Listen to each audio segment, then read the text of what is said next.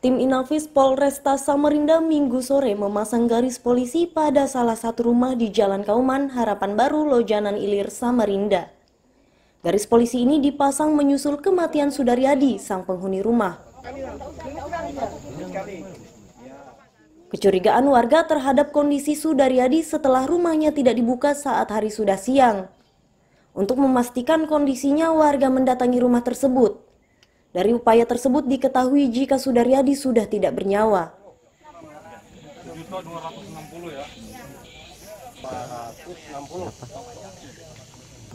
Bangunan, Bangunan ya? ya Tinggal sendiri atau sendirian, sendirian? Memang sudah lama tinggal sini ya? empat bulanan. Oh, empat bulanan. Ya, Jadi pertama kali ibu lihat gimana pertama kali ibu? Nggak keluar lagi bapak ini atau gimana? Curiganya? saya tuh karena beliau ini biasa jam 10 di bawah jam 10 tuh pintu nggak pernah buka kan. Mm-mm. Karena beliau walaupun sehat biasanya agak siangan, Hmm. apalagi libur kerjanya.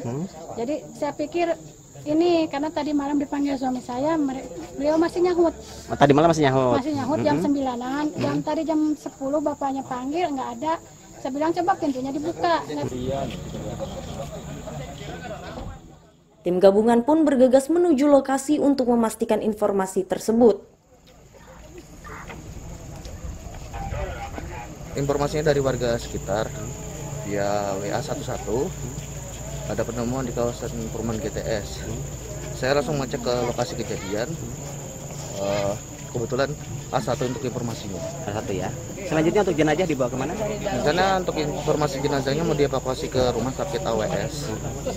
Dan untuk penanganan ini melibatkan unsur mana saja?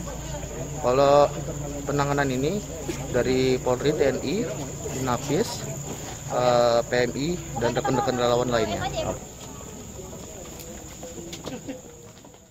Usai pemeriksaan awal, jasad Sudaryadi dievakuasi ke rumah sakit untuk divisum. Polisi melengkapi pemeriksaan tersebut dengan memintai keterangan sejumlah saksi. Amir Hamzah dan Iswanto melaporkan dari Samarinda.